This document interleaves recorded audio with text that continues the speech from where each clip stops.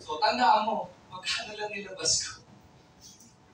Eh, paglabas mo nito, hindi ka naman buwan-buwan maglalabas eh. Tama. Hindi taon-taon, isang beses na. Yes. Pero sulit yung balik. Tama. Yes. Sabi ko nga, naglabas ka nga ng pera sa maling tao eh. Tama. Sabi ko, ang sakit ko sa Wala ka magagawa, sumugal ka nga sa maling tao dito pa. Tama. Diba? Kaya nung lumaki po yung income ko, alam mo, magugulat kayo naging instrumento ko ngayon para ano, i-share sa iba't ibang tao yung sekreto ko. Kaya pag sali nyo dito, alam nyo, matuturuan kayo eh, kung paano namin siya ginagawa eh. Katulad nito, ilan sa mga nakasama ko dito, estudyante from UB, baka may UB, Ano? Name niya, Girly Diga. Ito, Sir Noel Laurente, taga Visayas, Aklan. Ito naman, si Sir Leslie Evangelista. Ayun, makikita niyo sa sa likod. Yan, kaway ka nga, bro. Ayun. Ayun na natin. Dating marketing manager.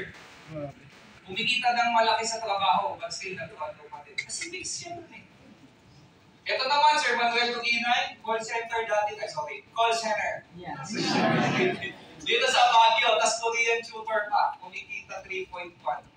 Hindi lang siya, next mo pa. Ito sa Visayas, OFW sa Dubai, doon namin. Same as Johanna J. Concepcion, negosyante na sa Boracay. Ito naman, IT cum laude, mga ITs. Nagiging successful kasi bakit? Tinuturo, nalalaman nila yung ginagawa namin.